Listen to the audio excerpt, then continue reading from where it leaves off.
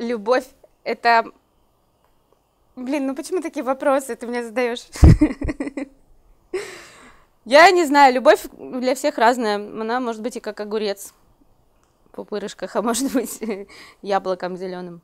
А, если овощная фруктовая тема, то, например, у меня есть три красных яблока, а человек, который меня любит, у него тоже есть яблоки, но от меня он хочет получить тоже яблоки, но зеленые. И любовь в состоянии красные сделать, из красных сделать зеленые яблоки. То есть у меня никогда не было зеленых яблок, но для него я могу сделать их зелеными. Ну, любовь как огурец, потому что, ну, откуда... У каждого уникально это такое чувство, что у каждого оно свое, и объяснять, что такое любовь, это либо пускаться в философские маразмы, и тут просто жестикулировать, жонглировать умными фразами, и либо просто промолчать. Потому что невозможно объяснить. Это необъяснимо. У меня такое свойство памяти, оно стирает абсолютно все. Нужное и ненужное. Это такое женское свойство. Вспоминать первую любовь – это, наверное, мой сосед.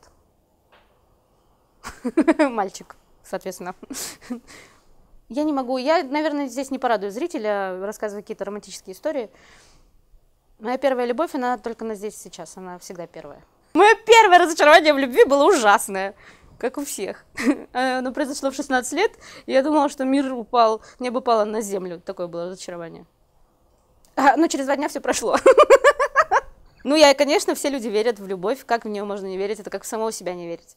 А часто этого не говорю, потому что мне кажется, что, ну, это мой таракан, что с каждым словом оно, она улетучивается куда-то, лучше так попридержать. А может быть, это я тупо делаю. Ну, я не могу себя заставить это говорить вообще, вообще-то, часто, тем более. Я была, мне было 15 лет, и мы из, по обмену приехали в еврейскую школу, московская еврейская школа, и там было два мальчика, и с ними обоими я поцеловалась первый раз. Сначала с одним, потом с другим на дискотеке. У меня нет идеалов и ну, стереотипного представления о том, какой должен быть мой идеальный мужчина, и должен ли он быть вообще. Поэтому это что-то тоже необъяснимое, и мое западание я не могу проанализировать и считать, почему именно я западаю. Оно как так случается, включается, и, и потом я только догоняюсь, ой, я же запала. Любовь живет э, одну секунду. Ну, в ту секунду, когда ты говоришь, что ты любишь или чувствуешь это, она живет.